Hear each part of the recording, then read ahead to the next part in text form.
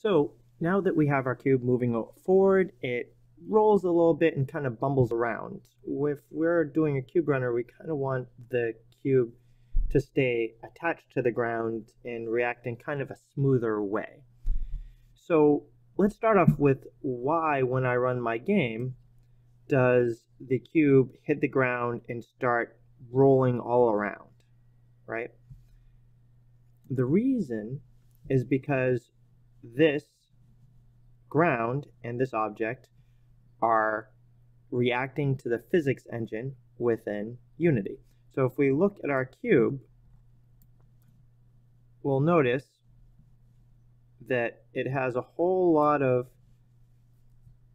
just rigid corners, right? So we've got corner here, we've got corner here, and when it's falling and it's going to hit the ground, chances are it's going to bounce a little bit, maybe get caught up on one of these corners, and then it rolls down. And that's what we can see if we look a little bit closer.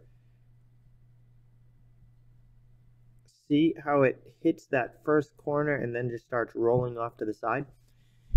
What we need to do is to make it so that this ground is a little bit less sticky so that when it hits it, kind of like ice, it has the ability to just slide on by. So how we do that is by creating a physics material.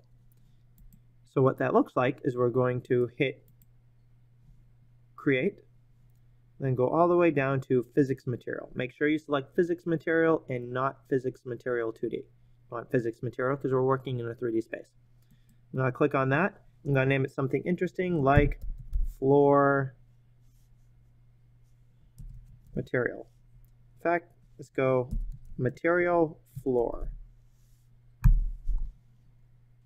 Now that we have a new material that is floor, so when we click on the material, we have a whole lot of options come up in our inspector window.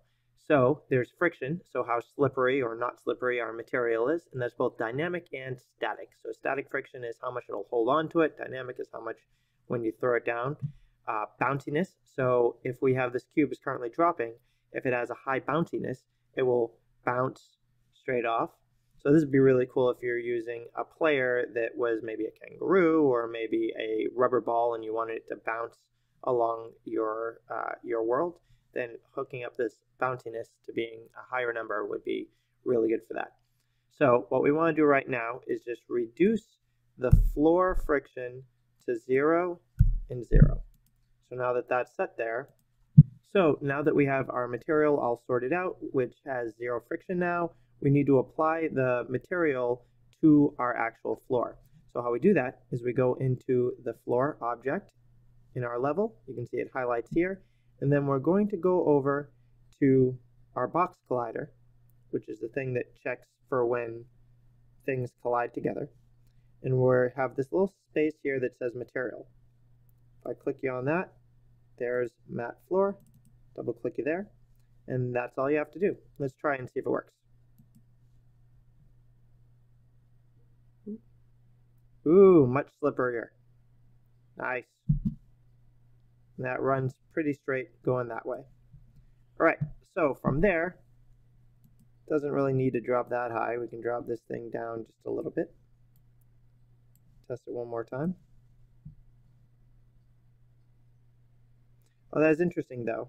Because we dropped the material down, the player down, we couldn't actually see when it started. So that raises a question. What if this level was longer than just what I can see easily within my inspector here. It would make it very hard to play the game because then you can't see the player. So what we're going to go into next is how do you attach the camera so that it follows behind the player. Okay, so please catch up with this section. Make sure you have all of this done and then follow on to the next section, please.